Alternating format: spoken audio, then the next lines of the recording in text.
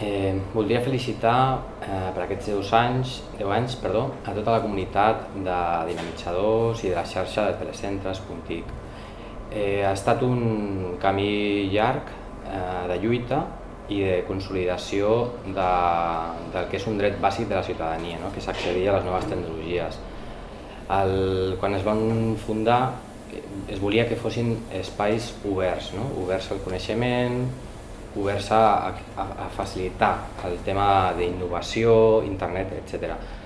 Avui dia aquests reptes segueixen vigents, però encara més, perquè tenim el tema de les dificultats econòmiques i l'emprenedoria, el talent, la creació, el coworking, hi ha moltes coses per fer i són més necessaris que mai.